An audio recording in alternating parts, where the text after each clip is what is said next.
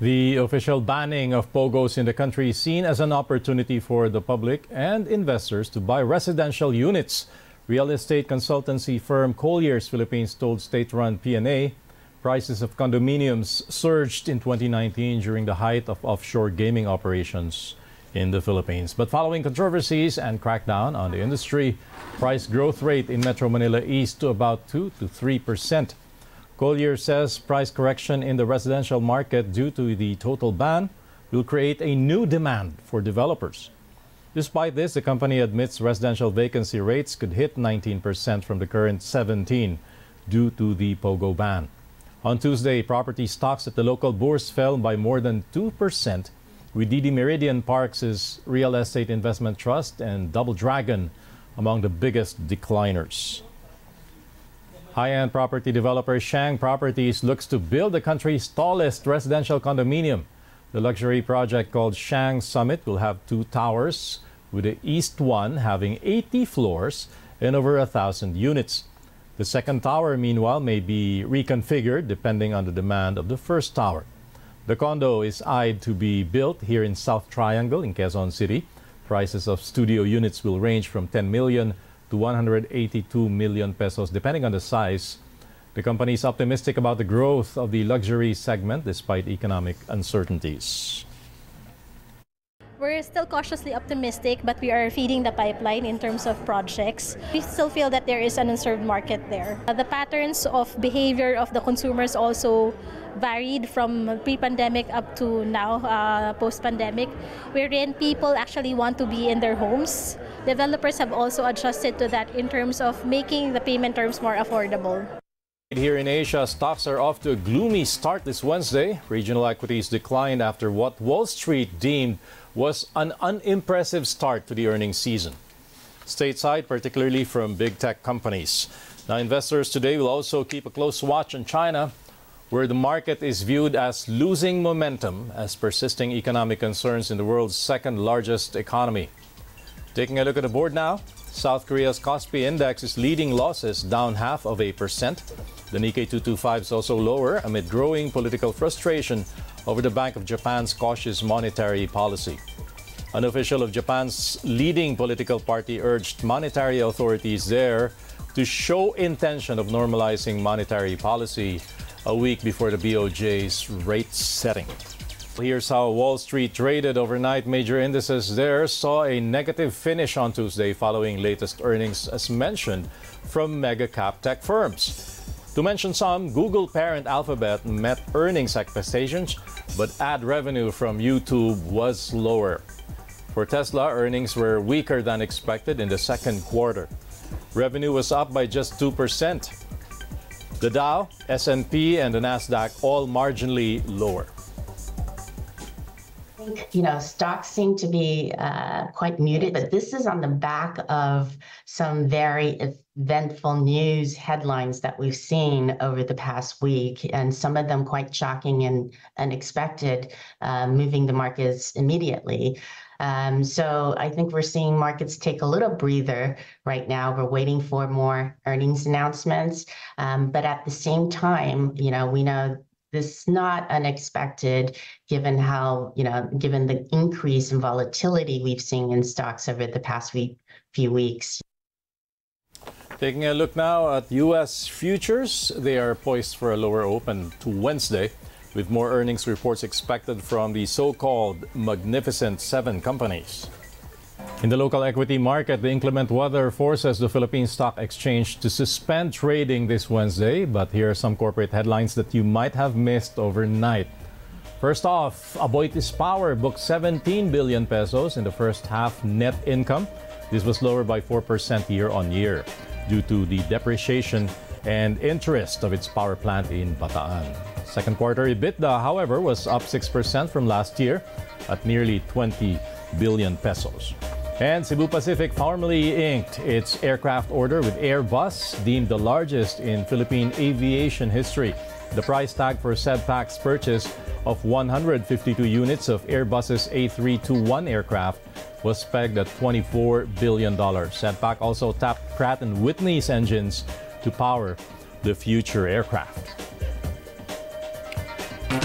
Time to zip through some of the top headlines from major business papers today. From the Philippine Star, NEDA Secretary Arsenio Balisacan says the Philippine economy likely expanded by nearly 6% in the second quarter. From Business World, the Yuchengco Group's House of Investments says the Philippine Competition Commission has approved its joint venture to build the Sangley Point International Airport in Cavite. And from the Philippine Daily Inquirer, Trade Secretary Alfredo Pascual says he will push for amendments to the country's intellectual property law to improve its enforcement. Authorities confirm eight deaths from the combined effects of the southwest monsoon and two cyclones. The Disaster Management Agency says the fatalities were all from Mindanao in the southern Philippines. The Weather Office previously said the strong rains are from Habagat made worse by tropical depression Prapiroon, locally named Butchoy, and uh, Typhoon Gaemi, or Carina. Across the country, nearly 180,000 families affected by the deluge, with about 7,000 displaced. Initial damage to crops nears 81 million pesos, while damage to infrastructure was estimated at 700,000. We've also learned that Philippine President Ferdinand Marcos Jr. will join a briefing of the Disaster Management Agency this morning on the weather situation across the country. We'll keep you updated on that. Authorities confirm eight deaths from the combined effects of the southwest monsoon and two cyclones. The Disaster Management Agency says the fatalities were all from Mindanao in the southern Philippines. The Weather Office previously said the strong rains are from Habagat, made worse by tropical depression Prapiroon, locally named Butchoy, and uh, Typhoon Gaemi, or Carina. Across the country, nearly 180,000 families affected by the deluge, with about 7,000 displaced. Initial damage to crops nears 81 million pesos, while damage to infrastructure was estimated at 700,000. We've also learned that Philippine President Ferdinand Marcos Jr. will join a briefing of the Disaster Management Agency this morning on the weather situation across the country. We'll keep you updated on that. As such, some parts of the northern Philippines remain under tropical cyclone wind signals. Weather Bureau Pagasa says signal number two is still up in Batanes province. The Babuyan Islands, as well as several areas in the northern part of mainland Cagayan, are under signal number one. The northern portion of Ilocos Norte province, covering five towns, also under the same status. Typhoon Carina was last seen this morning off the waters of Itbayat in Batanes. It has peak winds of 155 kilometers per hour and gusts of up to 190 kph. Carina is moving northwestward and is expected to leave the Philippine jurisdiction either Wednesday evening or Thursday morning. Flooding also hit several parts of the Philippines due to torrential rains. Some roads are impassable in Metro Manila due to gutter and knee-deep floods. At least 49 families have evacuated in Mariveles, Bataan following a landslide. Meanwhile, in Pampanga, water levels have reached 4 feet with residents already using boats to move around. Tuloy-tuloy po yung pag-ulan uh, kagabi and of course yung bumababang tubig galing sa uh, upper stream natin, ini-expect na nating na papunta na dito, plus yung high tide. So yan po, uh, compounding effect. But in Tuguegarao City, farmers consider the rain a blessing. Malaki ang tulong ng ulan kapag yung ang niya ay tubig ng niya ay mahina, hindi agad makarating. For work and classes today, Malacanang has suspended both in the capital region per recommendation of the NDRRMC. The class suspension in Metro Manila covers all levels. In Congress, work in both the Senate and the House of Representatives were called off, still as a precaution from bad weather. Aside from Metro Manila, here's a look at other areas which canceled classes today, July 24.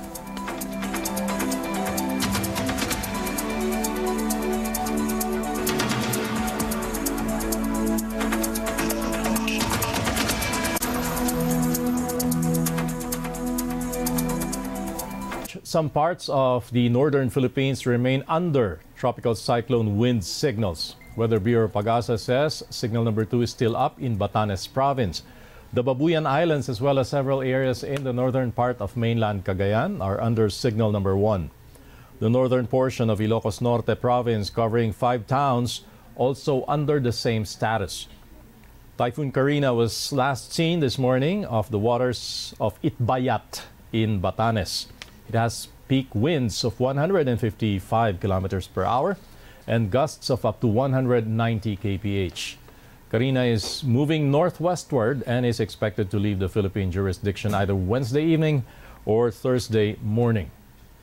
Flooding also hit several parts of the Philippines due to torrential rains. Some roads are impassable in Metro Manila due to gutter and knee-deep floods. At least 49 families have evacuated in Mariveles, Bataan following a landslide.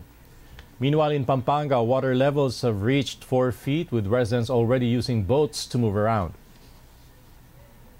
Tuloy-tuloy po yung pag-ulan uh, kagabi and of course yung bumababang tubig galing sa uh, upper stream natin, ini-expect na nating na papunta na dito, plus yung high tide.